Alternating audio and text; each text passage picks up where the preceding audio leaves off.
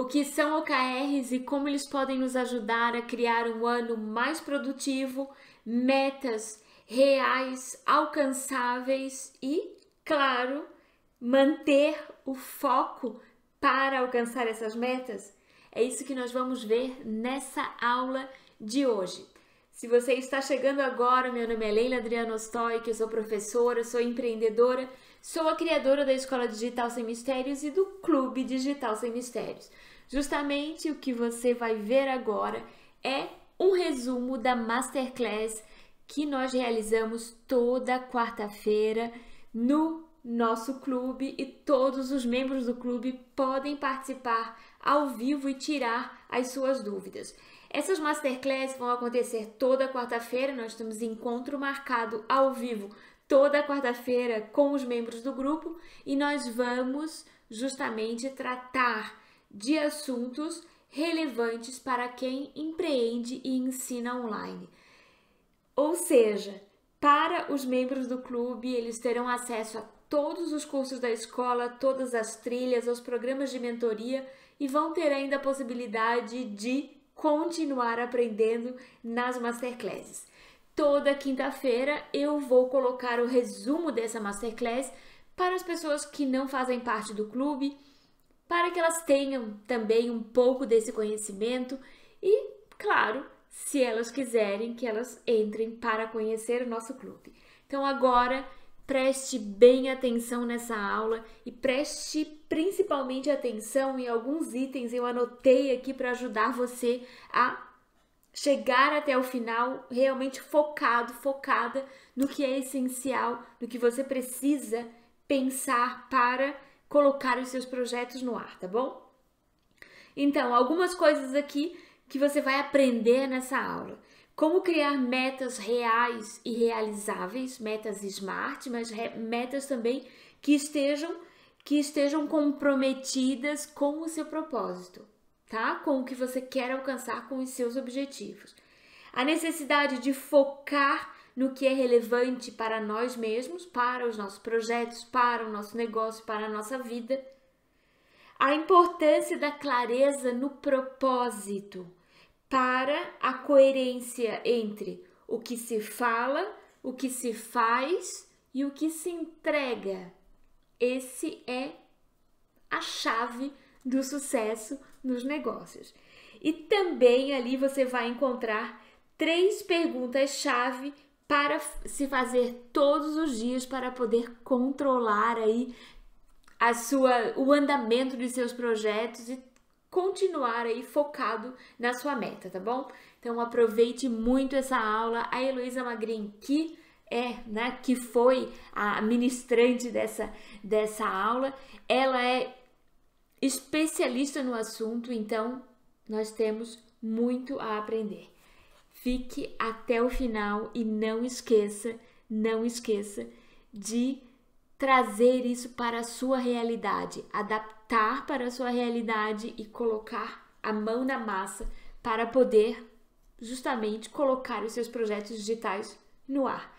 E se você quiser participar de tudo isso ao vivo, então entre no site da escola digitalsemmistérios.com e depois entre em clube veja se é para você e se você quer aprender, ensinar e crescer com a gente. Em primeiro lugar, Leila, quero agradecer você por todo o ano passado e pelos outros anos também, né?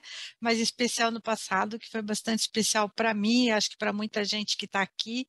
Então, é e que esse ano comece então para todo mundo com muito sucesso, com todo mundo com seus projetos aí para colocarem no ar e sempre estamos contando com o seu apoio, né?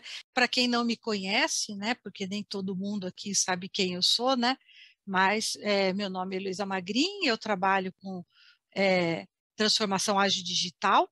Eu faço isso tanto para empresas quanto para pessoas, através de cursos, mentorias e palestras, e eu tenho um lema que é o conhecimento é capaz de transformar vidas, e é nele que eu acredito. E a forma mais fácil de entrar em contato comigo é através do LinkedIn, porque no LinkedIn eu estou lá diariamente administrando a minha conta, tá? Bom, O que são OKRs, para quem não conhece? OKRs são objetivos e resultados chaves. Ele nada mais é do que um protocolo colaborativo de metas para empresas, equipes e pessoas. O que é um protocolo? O protocolo é uma forma, é um método, é um jeitão né, de se administrar, de gerir metas, né, no caso do, do OKR. E ele não é uma metodologia, isso que eu sempre gosto de deixar claro, porque uma metodologia te diz passo a passo como você deve fazer. E um método não, ele te mostra o que é e ele é flexível, adaptado, adaptável e você pode colocar da sua forma, da forma que melhor é, condiz com a sua realidade. Então, essa é a grande vantagem do OKR. Ele te dá um caminho a seguir, mas ele não bloqueia as suas possibilidades de adaptação. Muito pelo contrário. E é por isso que o OKR é bastante usado com as pessoas que, hoje, da área de gestão, principalmente na área de tecnologia, que utilizam os métodos ágeis mas os OKRs, como nós vamos ver mais à frente, precedem os métodos ágeis. Mas quando a gente fala de metas, o que, que acontece? Muita gente leva um susto. Metas? Mas meta é muito rígido, é engessado. Se eu colocar uma meta, e se eu não atingir, o que acontece? Então, as pessoas se assustam muito com metas, mas, como eu disse, os OKRs são bastante flexíveis, adaptáveis e, por isso, transformam as metas em alguma coisa que eu quero atingir, um lugar aonde eu quero chegar, e ele nos ajuda a ir até chegar lá. Então, essa é a grande vantagem quando a gente está falando sobre OKRs. E quais são os impactos que acontecem se nós não temos meta? O grande impacto que tem, primeiro a gente ficar sobrecarregado, né, o overload, e aí começar a fazer um monte de coisas, que foi exatamente o que a Leila falou aqui agora há pouco, que nós precisamos é, focar naquilo que é o mais importante, senão nós saímos fazendo muitas coisas ao mesmo tempo e não chegamos a lugar nenhum.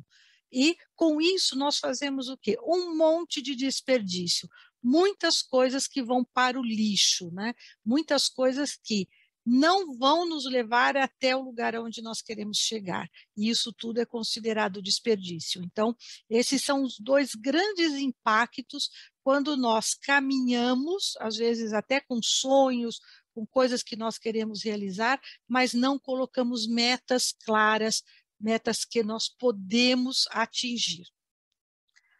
Então, os OKRs, como eu disse, né, só para a gente fechar aqui, é um método de gestão que ajuda a garantir que empresas e pessoas concentrem esforços nas mesmas questões importantes para a organização ou para o atingimento das metas desta organização e as suas metas pessoais. Então, é isso que os OKRs fazem. Eles te dão um foco maior para que todos possam trabalhar juntos por um mesmo ideal. E só ideias não resolvem. Então, o próprio John Doerr diz que ideias são fáceis, mas a execução é tudo. Porque se nós não tivermos a ação, nós vamos viver de sonho, e sonho não realiza as nossas metas, não realiza o que nós queremos, não nos leva para onde nós queremos chegar. Então, o que mais nós precisamos é ter ação. Agora, uma ação coordenada, uma ação com foco, para que nós possamos atingir os nossos objetivos, para que nós possamos alcançar o propósito que nos faz é, viver, nos faz levantar a cada dia. Só para quem ainda está conhecendo, né, rapidinho, eu vou colocar quatro pontos muito importantes sobre a história dos OKRs, porque como ele é muito falado ah, de uns anos para cá, uns cinco, seis anos para cá, então muitas pessoas acham que ele surgiu agora, mas na verdade os OKRs começaram com o Management by Objectives, ou seja, gerenciamento por objetivos, escrito por Peter Drucker em 1954, ou seja, ele já tem quase 70 anos, ele já é um senhorzinho, né, o OKR, mas ele realmente efetivou como OKR por Andy Grove em 1971. todo mundo conhece Peter Drucker como um grande é, escritor, um grande professor, um grande pesquisador sobre, da área de administração, de gerenciamento, de KPIs, né, que são os indicadores chaves. Então, ele sempre é muito referenciado em toda a literatura. Mas Andy Grove, além de ser um dos fundadores da Intel, que é aquela empresa que quase todo mundo tem aqui no seu notebook, né? É, Intel Inside, né? A gente tem dentro dos nossos equipamentos os microprocessadores da Intel. Além dele ser um dos três fundadores dessa empresa em 1968, ele era um grande pesquisador, ele foi considerado um dos maiores nomes do século XX, ele, é, além de ser esse é, empreendedor fantástico, inovador fantástico, ele também era um pesquisador e um professor em Harvard, tá? e é, também foi professor em Stanford. Então, é, ele é realmente um nome, ele é que pegou as ideias do Peter Drucker, que o próprio Peter Drucker, num determinado momento, abandonou porque ele não conseguia transformar aquela sua pesquisa, aquela sua é, ideia, concretizar aquilo dentro das organizações, e o Andy Grove fez isso. Ele é, a gente fala né, que ele aterrizou a ideia, ou seja, ele realmente construiu o que hoje nós conhecemos como OKRs. Então, ele é o pai dos OKRs, ele é o cara que realmente criou os OKRs como nós conhecemos hoje. E um grande marco que tem do OKR foi em 1979, quando a Intel deixou de ser uma fabricante de memórias para ser uma fabricante de microprocessadores, que ela é até hoje a líder mundial. E isso foi feito num movimento, porque vocês sabem que essas coisas de tecnologia são muito rápidas, e isso foi feito num movimento muito rápido, num período muito curto, e nessa operação, que se chamou Operação Crush, que foi essa mudança de direção da Intel, da qual ela se tornou a gigante que ela é hoje, é, foi comandada por Andy Grove, mas teve a participação já de um rapazinho que estava começando lá, que era o John Doerr.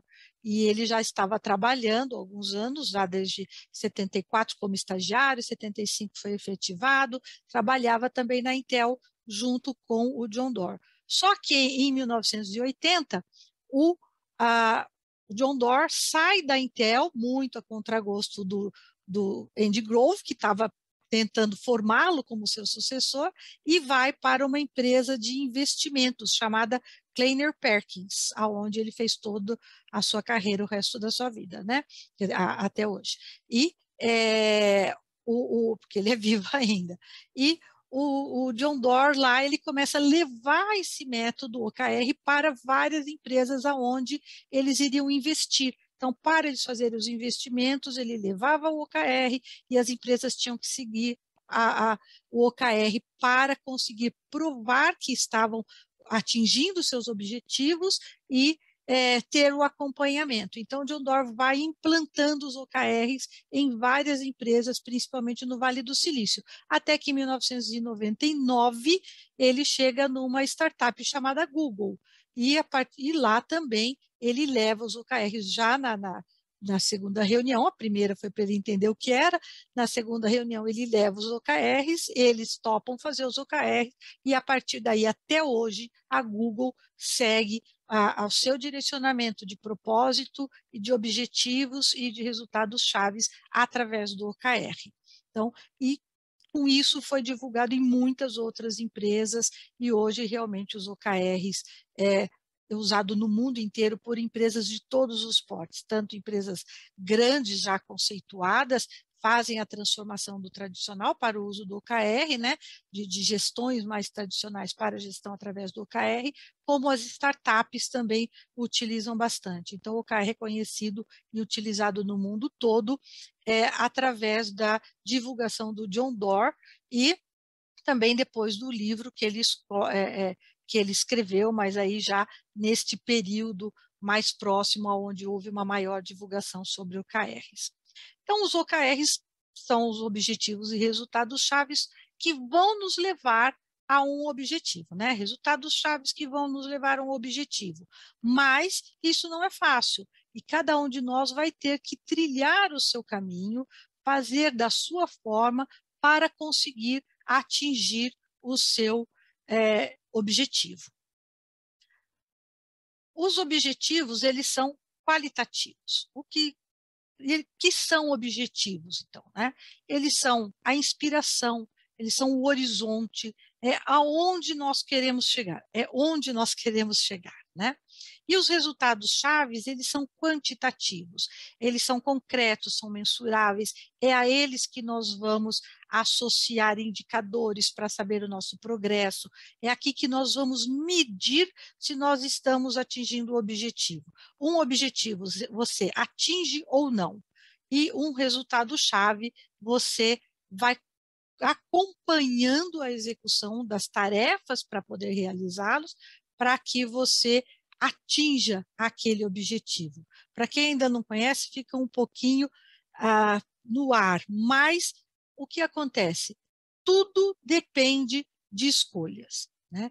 Tudo vai depender das escolhas que a gente faz. Então, os OKRs eles precisam ser desafiadores. Eles não são melhorias contínuas não é para que a gente é, faça alguma coisinha a mais, aquilo que a gente já sabe que consegue fazer, porque isso não é desafiador. Não, a gente não vai sentir progresso. E um OKR, ele tem que ser desafiador, a gente tem que sentir o progresso. Então, se você tem o um mesmo objetivo há alguns anos, né, e você nunca atingiu esse objetivo, se você continuar fazendo da mesma forma, você vai continuar não atingindo. Então, o que é que você vai fazer de diferente e que realmente vai fazer você atingir aquele objetivo? E, em primeiro lugar, você tem que pensar: este objetivo eu quero mesmo atingir? Então, isso são as escolhas que nós vamos ter que fazer. E destas escolhas vai depender aquele caminho que a gente vai traçar para a gente chegar nos objetivos que nós queremos alcançar. E tudo começa com o propósito, que é exatamente o que a Leila falou. O que é o seu propósito deste ano? Você já pensou? Por quê? Porque o propósito é o que determina o seu grau de comprometimento. Se o meu propósito é fraco, o meu grau de comprometimento também é fraco. Ah, quero emagrecer um quilinho. Isso é um propósito difícil, mas fraco, que a gente pouco sacrifício consegue fazer, né? Mas se for ah, eu quero ficar num corpo de Miss, né, na minha idade com o meu corpo, é um desafio muito grande. Então, também é um desafio, como a Leila disse, é, vamos escrever um livro? É um desafio grande para quem nunca escreveu um livro. Mas e se vocês quiserem escrever uma coleção de livros que façam sentido para serem adaptados em cursos que outras pessoas vão dar, é um desafio ainda maior. Né? Então, esse é o, o propósito que a gente tem que ter. Propósitos mais desafiadores, porque são eles que vão é, nos dar o grau de comprometimento que nós é, deveremos ter. E essas metas dentro do OKR, elas são chamadas de metas ousadas existe até uma frase que diz, né? Mire as estrelas, porque se você errar, no mínimo você vai alcançar a Lua, o que já é um desafio muito grande. Então, é isso que nós estamos dizendo. Quando você tem um objetivo muito ousado, mesmo que você não atinja 70, eh, não atinja 100%, atinja 70%, por exemplo, desse objetivo, já é um passo muito grande que você deu. E você pode, por serem os, os OKRs objetivos flexíveis e adaptáveis, você pode rever, ir adequando. E se realmente for aquele o seu objetivo, como por exemplo, a gente tem o Elon Musk, que ele quer chegar em Marte, ele quer colonizar Marte. Não sei se vocês conhecem o objetivo dele. E ele tem objetivos, esse é o propósito dele, né? Chegar a Marte. Agora, o qual é são os objetivos dele? Ele tem objetivos de lançar um primeiro é, um primeiro foguete não tripulado, depois lançar alguma coisa tripulada para pessoas normais, que foi o que ele fez no ano passado, com ah, quatro tripulantes não astronautas preparados, mesmo que tenham ficado menos de meia hora né, em órbita, parece que foram dez minutos, mas é, isso aí vai traçando, a, são objetivos que ele tem, que ele vai traçando para encontrar essa meta, esse propósito tão desafiador. E mesmo que ele perca milhões quando um foguete é, explode no lançamento, é uma forma de aprendizado. Então, isso nós também temos que aprender com ele, com Thomas Edison, com todos esses outros cientistas maravilhosos. Né? Nós precisamos aprender com os nossos erros e corrigir os caminhos para que nós possamos atingir aquilo que realmente é o nosso propósito ou o nosso maior objetivo. Mas também para isso nós temos então essas metas que nós chamamos de metas estratégicas ou resultados rápidos, que são aqueles resultados que vão nos motivando a continuar.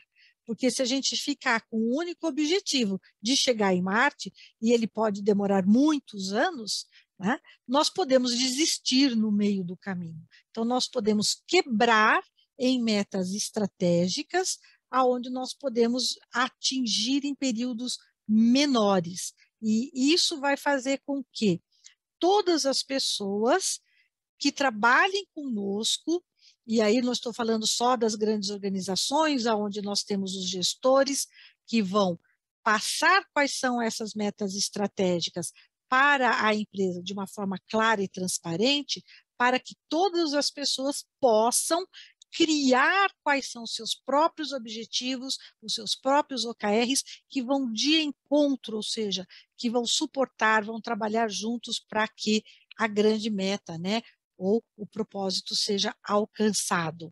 Mas também nós, quando estamos trabalhando, se nós aqui nos nossos projetos, se nós vamos contratar alguém para fazer, desenvolver a nossa mídia social, e nós só encomendarmos, olha, eu quero três posts semanais da cor azul, verde, né, a cor que eu quiser. A pessoa vai fazer qualquer coisa. Ela simplesmente está entregando alguma coisa parecida com o que nós pedimos. Agora, se a gente disser, não, eu preciso impactar pessoas para que é, sejam meus clientes, participem dos meus grupos de mentoria, nós vamos dizendo de forma clara e transparente os posts que eles vão criar para a gente serão muito melhores. Ou mesmo a pessoas com as quais nós vamos fazer as gravações. Né? Se nós dissermos qual é o nosso intuito, para que programa a gente vai usar, a gente vai conseguir ter muito melhor resultado. Então, por isso que a gente diz que se, e principalmente se é, o propósito da pessoa tiver alguma relação com o nosso, isso vai fazer muito mais sentido e elas, e elas mesmas vão desenvolver os seus próprios é, objetivos e resultados para ficarem alinhados com o nosso, que vai colaborar de uma forma muito maior. E isso hoje, principalmente nas empresas, é muito importante. A grande vantagem desses objetivos é, é, é, é, objetivos quebrados, né? Os objetivos é, que a gente vai trabalhar é que nós podemos trabalhar trimestralmente ou mensalmente. A empresa vai dizer como é que ela vai trabalhar, né? Ou nós vamos dizer, eu posso ter objetivos mensais, ou eu quero ter objetivos trimestrais. No máximo, eu tenho objetivos estratégicos anuais. No máximo. Por quê? Porque esse é um dos pontos do OKR ter objetivos que são atingidos em um curto espaço de tempo. Porque tudo muda. Quem fez um, um em 19, no final de 19, um planejamento estratégico de três ou quatro anos, não deu nada certo, né?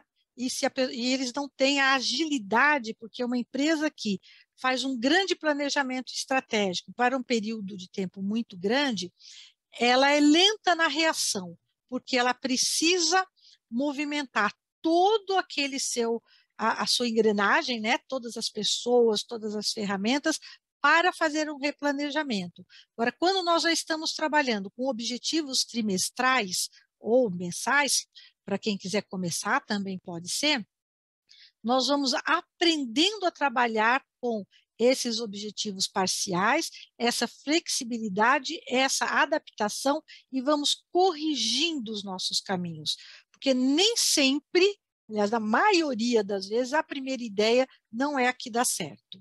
Então, esses ciclos curtos fazem com que a gente tenha um melhor acerto na hora de definir objetivos e uma maior facilidade de alcançar estes objetivos parciais. E o OKR, ele trabalha com um equilíbrio pela velocidade, como vocês já puderam perceber, né? Não são objetivos, planos de longo prazo, e sim de curto prazo. E isso faz com que a gente trabalhe o tempo inteiro para ele. Por quê? Porque você vai fazendo com que a sua mente vá trabalhando, vá se acostumando, vá se desenvolvendo com aquele tema que você quer desenvolver, com aquilo que você quer fazer. Então, é, a gente diz que os resultados chaves trazem o equilíbrio para o OKR porque eles trabalham no equilíbrio da velocidade, que é o que acontece com a bicicleta. Uma bicicleta parada com você em cima, ou você põe pezinho, ela cai, né? E a mesma coisa aqui, você tem que estar em movimento. Então, esse movimento dos resultados chaves, e você estar trabalhando todos os dias para atingir o seu objetivo, é que faz com que o objetivo seja atingido. Então, ele dá o equilíbrio pela velocidade, pelo envolvimento que você tem com o seu objetivo, com a sua meta, com o seu propósito. E esses resultados, eles têm que ser sucintos, ou seja, curtos, um só de cada vez. A gente não fala, eu vou ter tantos seguidores e tantos desses seguidores vão comprar o meu produto. Não, eu vou ter tantos seguidores e X% dos meus seguidores vão comprar o meu produto. São dois resultados a serem atingidos. Então, nós, eles têm que ser bem específicos e sempre tem um número, seja um número puro, né, um número X de pessoas, um percentual, uma data limite. Então, um resultado-chave, ele sempre tem um número, ele é mensurável, ele tem um valor. E para que esses resultados sejam atingidos, nós temos que realizar tarefas. Porque sem a ação, né, a ideia é boa, mas a ação é que faz a gente atingir o objetivo. Então, nós precisamos fazer as tarefas, só que não para termos os resultados, e sim nós temos que ter essas tarefas com base no objetivo.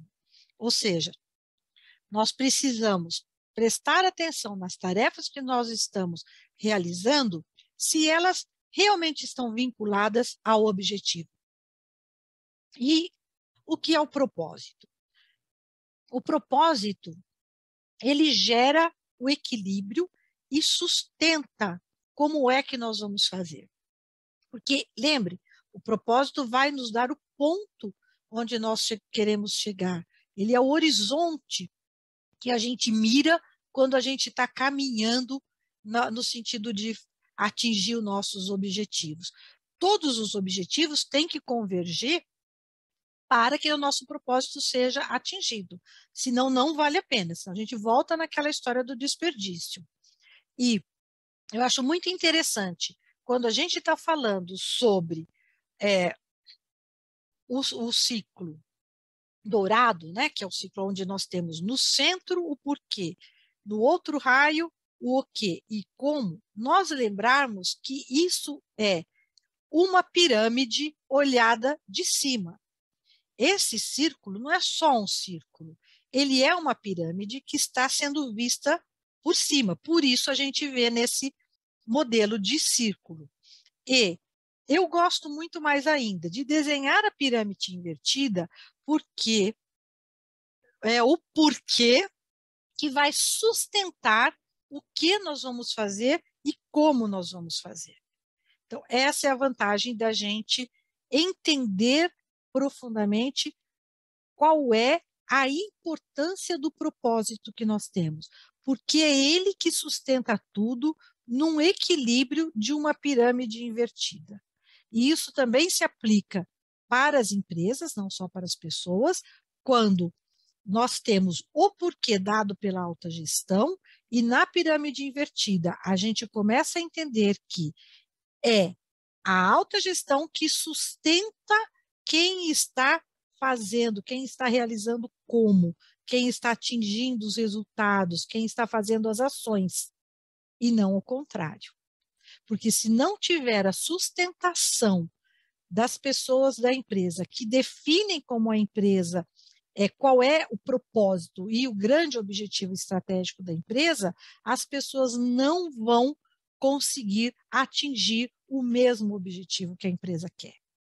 E aí nós vamos ter muitas pessoas trabalhando em coisas que não são necessárias e a empresa tem um grande desgaste, um, um, uma perda de pessoas, é uma coisa bastante trabalhosa. E, falando na nossa produtividade, como é que a gente consegue a produtividade? A produtividade nós conseguimos com os fatos, com as coisas que acontecem, que não são só as ações, mas são os resultados que a gente obtém através das ações que nós fazemos. Então, essa é a grande produtividade que nós buscamos em 2022, é termos resultados, termos fatos que mostrem é, que nós realmente estamos conseguindo. E dentro do OKR existe em inglês a sigla fatos, né, facts, que significa foco, alinhamento, comprometimento, rastreamento e é, ousadia, ou ousar, né? que é o stretch, que é, todo mundo traduz por alongar, mas é ir além. Então, nós temos. E o que é foco? O foco é importante porque, se nós não tivermos um direcionamento, nós não soubermos para onde ir, com certeza vai ter desperdício. Principalmente quando nós estivermos trabalhando em empresas Cada um vai fazer de uma forma, vai tomar um caminho e não vão conseguir, a maioria não vai conseguir chegar no mesmo lugar. Então, por isso que o foco é importante, para que todos saibam para onde ir. E o alinhamento? Alinhamento é entender completamente a estratégia e o que é preciso para atingir a meta é clareza, é transparência, é isso que traz o alinhamento. Se eu não for clara, e aí para nós empreendedores individuais, é importante esse alinhamento com todas as pessoas que nos cercam, porque se a nossa família, se os nossos amigos não tiverem claros o que nós estamos fazendo, por que nós estamos fazendo, qual é o nosso objetivo, eles não vão nos apoiar, não, ao contrário, vão começar a surgir compromissos que tentam nos desviar do nosso foco. Então, quando a gente chega e diz para a família, olha, eu tenho que preparar uma aula que eu vou dar um masterclass na turma do Digital Sem Mistérios, todo mundo já sabe que eu tenho que fazer isso. E sabe que isso está alinhado ao meu propósito de que o conhecimento transforma vidas. E por isso eu trabalho com conhecimento. Por isso eu estou ali me dedicando naquele momento, para poder impactar as vidas das pessoas que estão aqui hoje assistindo ou que vão assistir daqui para frente. Então, o alinhamento, ele é totalmente baseado em clareza e transparência. E isso é muito importante. E o comprometimento. O comprometimento, ele vem da segurança psicológica. Porque se eu não estiver seguro do que eu vou fazer, se quando eu estiver trabalhando em empresas ou com outras pessoas que estão é, fazendo mentorias comigo, eu não estiver me sentindo aceita, eu não estiver me sentindo confortável, desafiada, se eu não tiver essa segurança psicológica, não é possível me comprometer. E isso acontece com todas as pessoas. E é isso que hoje as empresas precisam entender porque existe um movimento de turnover, um movimento de mudança de pessoas por várias empresas, porque elas não encontram essa segurança psicológica. O homem não é feito para ser nômade. Tanto que ele só é nômade até quando ele encontra um lugar para se fixar. E ele vai se fixar aonde ele sentir segurança psicológica. E basta ver o comprometimento que nós mesmos temos aqui dentro do Digital Sem Mistério. É o lugar onde nós sentimos essa segurança psicológica, onde nós nos sentimos bem em aprender, em ensinar, em colocar as nossas dificuldades, em buscar conhecimento, em nos apoiarmos uns aos outros. Então, ele traz isso para a gente. E é isso que nós temos que também levar para as pessoas que nos ajudam a atingir o nosso objetivo, que envolvem as pessoas que vão comprar as nossas mentorias, os nossos infoprodutos, o nome que nós quisermos dar. E como é que a gente consegue isso? Consegue isso com muita conversa, conversa clara, transparente, é, deixar tudo muito claro, tirar as dúvidas. São as conversas que levam ao progresso. Não é uma conversa qualquer que a gente fica jogando conversa fora, mas sim conversas que levem ao desenvolvimento pessoal, ao aprendizado e ao feedback também. Um feedback contínuo, não é um feedback aqueles que as empresas dão no fim do ano para dar bônus, não. Ao contrário, o reconhecimento dentro do OKR não induz ao bônus, não está ligado ao bônus. Você não vai atingir meta ou não vai atingir é, um resultado chave porque você vai ganhar um bônus, porque isso vai gerar, ao invés de comprometimento, ao invés de engajamento, ao invés da equipe trabalhar como um todo, vai gerar concorrência entre os membros. E isso faz com que é, não haja a troca de informações, não haja todo esse compartilhamento que o OKR exige para que ele funcione. Então, não é uma corrida individual, é uma corrida em equipe, é um conjunto de pessoas para poder alcançar a meta. E o rastreamento. O rastreamento é uma coisa bem interessante também. Por quê? Porque as pessoas hoje em dia falam: eu não quero ser medida, eu não quero ser acompanhada, mas fica o tempo inteiro olhando se perdeu peso, quantos passos deu. Né? Então, quando nós fazemos essa medição individual, que o OKR nos proporciona dentro dos seus ciclos, nós vamos, é muito mais gratificante do que se alguém falar, olha, foi legal o seu curso, mas quando você faz e você olha e você vê que você atingiu aquilo que você queria, que está de acordo com o seu objetivo, que as pessoas estão aprendendo e estão é, utilizando, colocando em prática, isso é mais gratificante. Porque elogios, existem vários elogios falsos, né? Existe muita gente falando blá blá blá, principalmente nas redes sociais.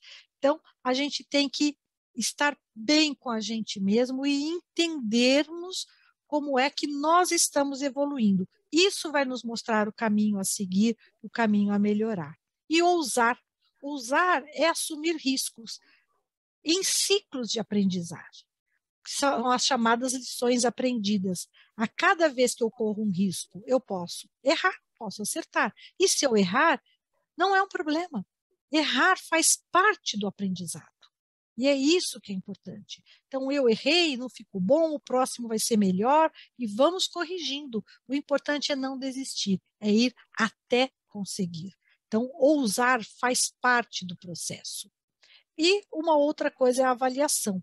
Aí sim, Hoje nós avaliamos o Uber, nós avaliamos as compras, qualquer compra que você faz no final já vem é, de, de, de, entre 10 estrelinhas, que estrelinha, né? Quantas estrelinhas você coloca, você pode até gratificar a pessoa, né? Pagar um diferencial por um bom serviço prestado para o prestador de serviço, seja o entregador, seja o Uber.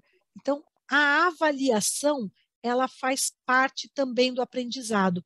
Nós devemos ter esta avaliação como parte do aprendizado, das lições aprendidas e ficarmos muito atentos a elas.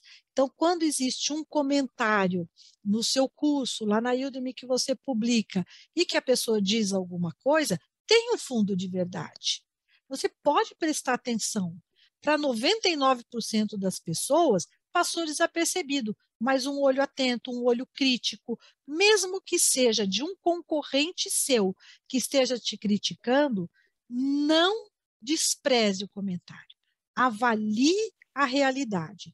Veja o que pode ser melhorado, porque sempre tem algum fundo de verdade. Isso é muito importante. Então, para que um OKR né, nos ajude a ser mais produtivos em 2022, como é que nós podemos usá-los? Primeiro, definindo o propósito. Quando nós vamos definir o propósito, todos nós já temos intuitivamente ou sabemos o que nós queremos fazer, né? Eu quero ser, eu quero me manter com os meus infoprodutos, eu quero fazer com que ele seja o, o, o complemento financeiro que eu preciso, ou seja, a minha base financeira de sobrevivência, ou eu simplesmente quero, por doação, fazer com que outras pessoas aprendam. Primeiro definir o seu propósito. Quando você definir um propósito, elenque três motivos que você tem para ter esse propósito. Se é financeiro, pode ser sustentar sua família, pode ser ajudar os seus pais, né? pode ser levantar dinheiro para você é, fazer um curso fora ou morar fora. Então, levante três motivos. Desses três motivos, escolha um. Qual é o que mais te motiva? Qual é aquele que realmente é verdadeiro para você? E verifique o que é que o seu propósito pode evitar que termine. Por exemplo, alguns propósitos podem ser para eu manter o emprego. Então, eu estou evitando o fim de alguma coisa boa, que é o meu emprego. Eu vou perder o emprego. Né? Ou o que é que ele pode consertar de erros. Ah, eu sempre comecei alguma coisa e nunca terminei, eu sempre tive esse sonho e nunca realizei. Como é que ele pode consertar isso? Então, pense a respeito do seu propósito. Essas são algumas questões, vocês podem colocar outras, mas essas são questões que eu também analiso tanto para pessoas como para empresas quando eu estou fazendo mentoria sobre propósito, e aí quis trazer aqui para vocês. Existem pesquisas, várias pesquisas é, sobre isso e livros, tá? E quando eu defino um objetivo, eu tenho que definir, definir meu propósito, eu tenho que definir três objetivos. E esses objetivos, que vão ser do meu primeiro trimestre, é, eles precisam ser realistas. Eu preciso saber quais são as dificuldades, eu preciso conhecer, pensar melhor sobre eles. E aí eu vou analisar quais são as minhas forças para alcançar esse objetivo e as minhas fraquezas. Né? Por exemplo, o tempo normalmente é uma grande fraqueza, né? Como que eu vou administrar a minha falta de tempo? A oportunidade é se eu usar esse tempo, eu vou conseguir realizar. E é eu tenho as oportunidades também, né? E tenho as, aquilo que eu chamo que é quando a gente tem as, os problemas, a gente tem pedras do caminho que a gente vai ter que tirar. Né? Então, essa, esses são os meus treats, né? São quando eu tenho que é, verificar aquilo que poderia é, minar uma possível oportunidade. Eu tenho que transformar isso numa oportunidade. Como é que eu vou fazer? Porque senão eu não vou atingir meu objetivo. Então, eu tenho que transformar as fraquezas em forças e eu tenho que transformar as dificuldades em oportunidades, né? São os desafios, grandes desafios que a gente tem, que é, é transformar isso em oportunidade. Então, usar essa análise chamada de análise SWOT ajuda muito a nós entendermos que os nossos objetivos são realistas. E aí eu tenho que ver quais são três objetivos para o primeiro trimestre. Quando eu terminei de definir os meus três objetivos, vou usar uma outra ferramenta chamada a é, análise né, ou de metas SMART. Por quê? Porque lembra que eu falei que o resultado-chave são mensuráveis? Se eles são mensuráveis, eu tenho que ter uma meta que seja específica, que eu consiga medir, né, que ela seja mensurável e que ela seja atingível. Ah, mas a gente não falou que é, quando eu estou trabalhando com, com propósito, eu tenho que ter propósitos ousados, desafiadores? Sim, mas eu já defini o propósito. E aí eu já defini objetivos que eu analisei e sei que aqueles objetivos eu vou atingir. Mesmo que eles sejam muito desafiadores, mesmo que eu tenha que é, vencer várias dificuldades. E agora eu vou medir, saber como eu vou medir os resultados de que eu estou conseguindo caminhar para o meu objetivo. E aí, então, ele tem que ser atingível. E tem que ser relevante, tem que ser importante para aquilo. Se ele não me ajuda a atingir o objetivo. E ele tem um tempo. E o nosso tempo é de três meses, ou um mês, de acordo com o ciclo que nós definimos. Então, essa é a parte é, que nós temos que fazer a definição dos resultados chaves. E para cada um dos três resultados chaves que nós vamos elencar para cada um dos três objetivos, ou seja, são nove resultados chaves, né? três para cada objetivo, são três objetivos, são nove resultados chaves. Cada um deles eu tenho que passar por essas cinco peneirinhas para ver se são específicos, são mensuráveis, são atingíveis, são relevantes, importantes para eu atingir o objetivo e eu consigo cumprir naquele tempo. E se eu não conseguir cumprir no tempo, ele pode ser quebrado em dois resultados chaves ou em ciclos. Como eu disse, o OKR é adaptativo. Então, nós podemos adaptar para aquilo que é, nós precisamos. E quando eu cheguei nesse ponto, eu acho sempre interessante que nós possamos criar um mapa mental porque nós já temos o nosso propósito, que é o centro né, do nosso mapa. Nós temos o primeiro nível em volta, que são os objetivos, três a cinco objetivos, e para cada objetivo nós temos os nossos três, é, três a cinco também, resultados chaves. Quando você desenha isso, a nossa mente, né, o nosso subconsciente, é capaz de entender os relacionamentos e as dependências entre eles, e nós conseguimos, através da figura, testar hipóteses. Será que esse resultado-chave é melhor para o objetivo 1 ou para o objetivo 2? Será que eu estou repetindo a mesma coisa em todos eles? Então, quando eu transformo isso numa forma visual e usando aí a ferramenta que, que vocês preferirem de mapa mental, existem várias, inclusive gratuitas, né? A gente consegue ter essa visão gráfica dos relacionamentos das dependências entre eles, antes de começar a executar e encontrar esses problemas depois. Por isso eu chamo isso de teste de hipóteses. Então aqui a gente vai testar todas essas hipóteses. E todos os dias a gente tem que fazer as perguntinhas mágicas. Perguntinhas mágicas são só três. Existem pessoas que contratam ou pagam ou simplesmente fazem um acordo com um amigo, com um cônjuge, com alguém, para que essas perguntas não sejam esquecidas. Então, por exemplo, digamos que a Leila me contratasse para todo dia, é bem que é daqui para lá, não de lá para cá, né? Às 10 horas da noite da Alemanha, né? Que vão ser umas, uh, umas sete da noite aqui, não, cinco da tarde, sei lá, eu ligasse para ela e perguntasse, Leila, o que você fez hoje para alcançar o seu propósito? Qual foi o ponto principal que você fez hoje? O que você fez hoje que poderia ter sido feito melhor? E que você deveria ter feito e não fez? Então, você pode ter alguém perguntando, ou se você for uma pessoa muito regrada, você mesma pode se perguntar. E cria, inclusive, é, uma planilhinha, um acompanhamento, para você ver a sua evolução. Eu também chamo isso de exame de consciência, né? Porque se todos os dias eu tirar dois minutos, porque não leva mais do que isso para responder essas três perguntas, dois minutos apenas no dia vai me garantir atingir o meu propósito de vida. Olha que coisa interessante. Muito importante isso para a gente é, começar a evoluir. É claro que a gente vai acostumando com o tempo. Por isso, no início, talvez seja interessante uma pessoa perguntar para a outra.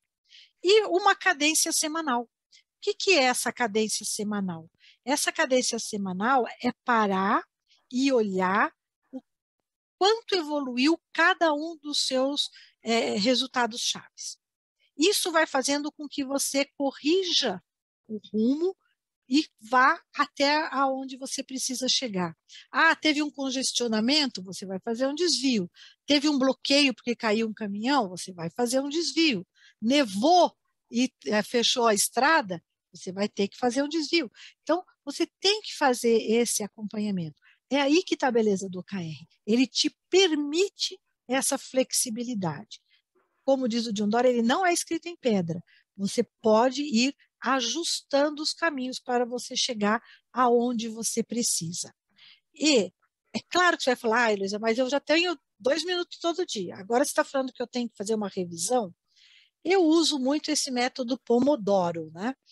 Que é o método que você vai cronometrar no máximo 20 minutos para você fazer uma atividade.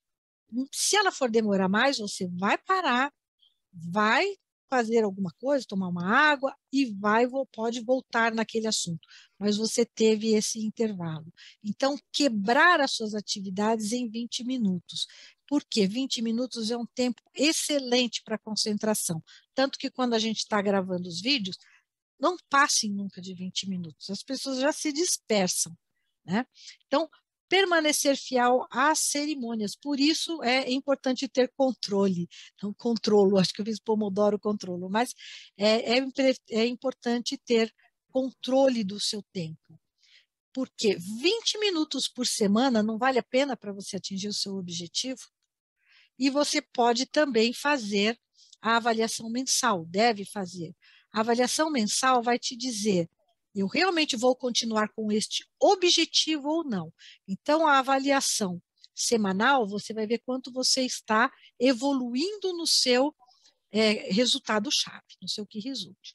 A avaliação mensal, você vai ver se você está realmente indo de forma correta para o seu objetivo. Se você tem algum alerta para ser corrigido, se está correndo tudo bem, ou se ele até perdeu o sentido, ou não vai ser feito nesse momento, vai ser feito depois, ou até nem vai ser feito. Então, essa avaliação mensal são dois pomodoros. Né? Então, você faz 20 minutos para, mais 20 minutos, no máximo 40 minutos por mês. Então, vejam que você é, não está gastando nem três horas para fazer a sua avaliação durante distribuídas durante o mês para você atingir o seu objetivo, para você conseguir fazer o que você quer. É claro que isso vai te levar a pensar o tempo inteiro, sonhar, dormir, acordar com o seu objetivo. Mas é isso que a gente quer, senão a gente não atinge. E aqui eu vou falar um pouquinho para vocês rapidamente sobre algumas ferramentas. Né? Uma primeira ferramenta, porque depois que você já montou, você já tem toda a ideia, você vai fazer o acompanhamento de alguma forma. Você pode simplesmente fazer um quadro branco, através de um Kanban, né, as ideias, ou seja, os objetivos, o que você tem que fazer, o que você está fazendo e o que você já fez. Então, é um quadro que você pode ir mudando os seus post-its. Esse quadro pode ser eletrônico, como está abaixo dele, que vocês têm aqui, né, que está aqui abaixo, que vocês têm o Trello. Então, esse é o quadro branco, esse é o Trello. O Trello é uma ferramenta gratuita que você pode baixar e faz exatamente o que a gente acabou de falar do quadro é, com post-it. Só que você vai criar as, as tarefas e você vai puxando para a coluna do lado. É bem, bem simples de usar. E você, eu gosto muito de desenhar ou de ter aqui é o Miro, né, que é um, uma ferramenta, é um quadro em branco para você desenhar o que você quiser, mas aqui uma um desenho de uma estrutura de um OKR com os seus objetivos e os resultados chaves a serem atingidos. Aqui o, propósito, o objetivo estratégico, quebrado em dois objetivos e quebrado nesse trimestre em mais três objetivos, cada um deles, aqui no caso, com dois objetivos chaves. Esses são exemplos é, é, genéricos, mas é, essa figura também é muito intuitiva para a gente entender depois que a gente criou o mapa mental, a gente montar uma figura como essa para ir fazendo acompanhamento. E algumas dessas ferramentas geram relatórios também parecidos com esse. Esse desenhado no Miro, porque é uma ferramenta de desenho que você pode usar à vontade. E aqui embaixo, nesse último quadrante aqui, nós temos esses dashboards que é gerada por uma ferramenta chamada Wikidone, onde ela tem um funcionamento muito parecido com o do Trello, que ela é um Kanban, que você que, que é assim que se chama essa ferramenta, né? Que é você ir puxando as atividades, só que ela vai te dando resultados. Essa é uma ferramenta paga, é uma ferramenta inclusive bastante cara, mas que muitas empresas utilizam. E acima dela ainda tem para esse mesmo formato de acompanhamento, é uma ferramenta chamada Gira, que é muito utilizada é, pelas equipes de desenvolvimento ágil, tal, porque cada um pode ir lançando cada uma das atividades que faz, o andamento das suas tarefas, e ele já vai gerando os dashboards de acompanhamento. Mas aí já vale para empresas grandes ou projetos é, bem maiores. Então, essas são ferramentas. Além dessas ferramentas, quem de vocês já fez, que eu acho que quase todos aqui já fizeram o meu curso lá na Udemy, né?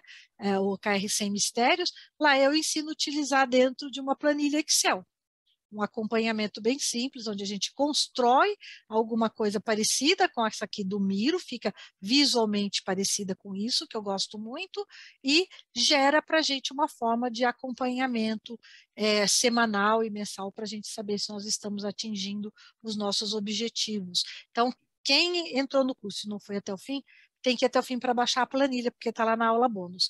Mas é, quem precisar também, só me falar daqui que eu, eu envio para vocês, tá?